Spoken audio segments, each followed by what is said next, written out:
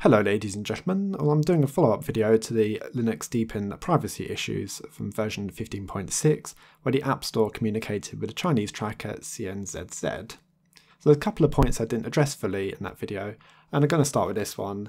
Are the privacy issues present in Manjaro or does it attempt to communicate with any trackers? And the answer is no, not that I can see, because it has a different App Store in the Manjaro version.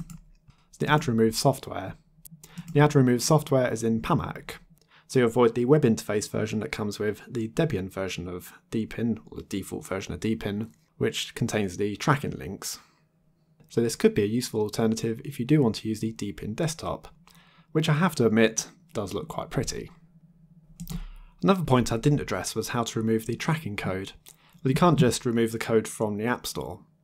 Your options are really to remove or more like not to use the App Store because removing it is going to substantially break the operating system. So if I run the command sudo apt purge deepin app store, which I strongly advise you don't do on your system, it's going to remove the dependency DDE, the Deepin desktop environment, and that's going to break the upgrade path. Uh, funny that a similar thing happened with Ubuntu 18.04 when you tried to remove the tracking components there, but at least with Ubuntu, I reckon it stands a longer chance of survival, um, more like, like long-term usage of operating system. Because I reckon that as soon as you get an upgrade on Deepin, which they're a lot more common than Ubuntu, it's just going to break and really not upgrade. I don't believe the upgrades of Deepin are particularly reliable to start with, let alone with the removal of DDE. Don't remove it. Just going to do no, abort it. Go and install a different package manager like Synaptic. So now you have access to a package manager which is not going to send any tracking data. You can get away with doing that this time in version 15.6. With version 15.5, that would have really broken it because the tracking code was within the update manager. Now to look at a couple of the comments. So from the Feren OS dev, damn, not even encrypting data. Damn Deepin, just damn, yeah. So I replied with, that's one of the most annoying things. If they disclosed what they were doing in an end user license agreement and encrypted the traffic, then I wouldn't be so bothered. The video would be titled, Deepin is doing what they say they're doing. But instead they get the label spyware and privacy nightmare. So yeah, that is my main issue at the moment. They're not actually disclosing what they're really doing. From Chris Zeong, I'm sorry if I pronounced your name wrong there, but what Deepin is doing is sadly considered as the best practice in China. Most Chinese people are so accustomed to being spied on they don't realise it, until the CEO of Baidu, which is an even more evil version of Google, told everyone Chinese users are willing to exchange privacy for convenience. This controversial statement awakened the public for a short period of time, however, 99% of the Chinese people forget things quickly and they continued using products from Baidu after a week or so, as if nothing happened. To be fair, you would get the same here. Uh, let's just look back at the privacy issues with Facebook and Cambridge Analytica. How many people have actually abandoned Facebook? Hmm. So, in my humble opinion, unlike Baidu, Deepin still stands a chance. No Chinese tech company has a closer relationship with free software and the open source community than Deepin.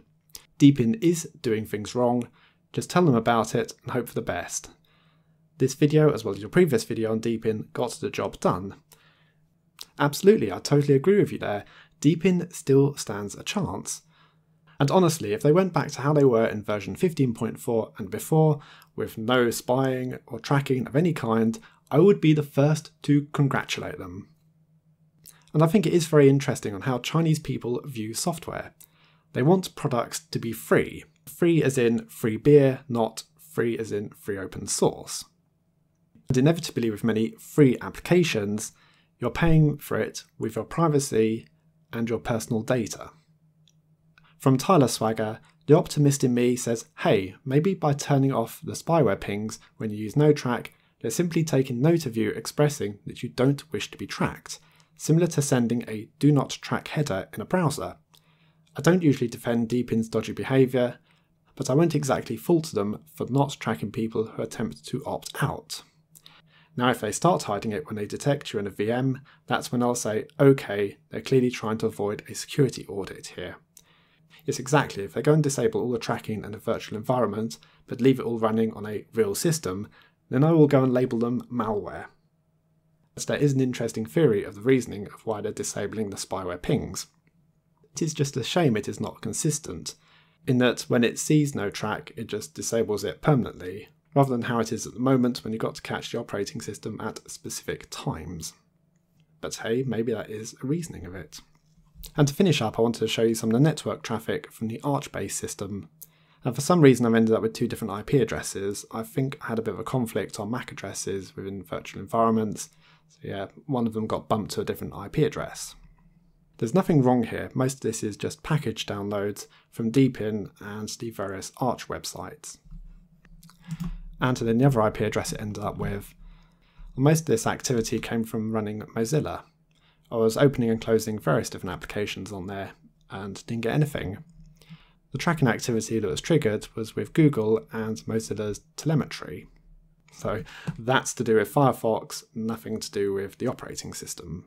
So yeah, that was a follow-up to Linux Deepin version 15.6. I'm not rushing to do another of these videos for a while. Thanks for watching, I'll see you all later.